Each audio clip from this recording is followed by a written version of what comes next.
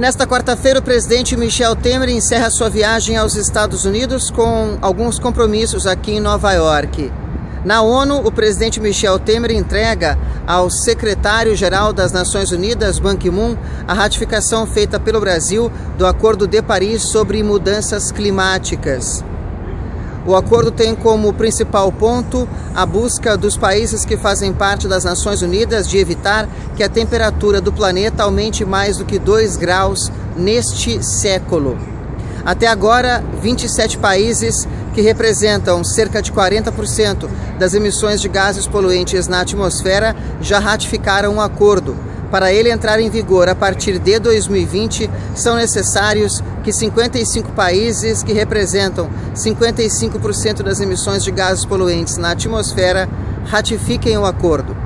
Logo depois do compromisso aqui na ONU, o presidente Michel Temer encerra um fórum empresarial que reúne investidores brasileiros e norte-americanos o presidente vai apresentar aos investidores o programa de parcerias de investimentos lançado neste mês no Brasil, que prevê a venda ou concessão de setores da infraestrutura nacional para empresas do Brasil e do exterior.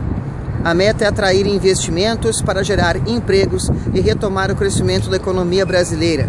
A expectativa do governo é que até o fim do ano que vem, pelo menos 24 bilhões de reais sejam investidos na infraestrutura nacional. O último compromisso do presidente Michel Temer em Nova York é um encontro com o vice-presidente dos Estados Unidos, Joe Biden. De Nova York, nos Estados Unidos, Paulo La Sálvia.